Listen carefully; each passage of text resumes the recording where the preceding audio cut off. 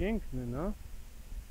Takie w Poznaniu. Mam nadzieję, że będzie coraz więcej cerkwi. Przydałoby się, żeby było trochę więcej urozmaicenia w tej ofercie religijnej, nie? No to by było tak, wiesz, się normalnie zrobiło, nie? Jak na zachodzie to.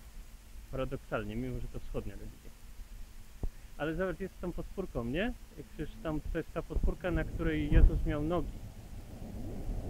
I oni tak dosłownie, nie? To tak wszystko mają. Tak.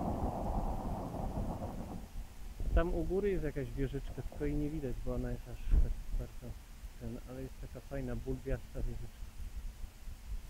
Super. To małe takie krzyżyki po bokach. Fajne.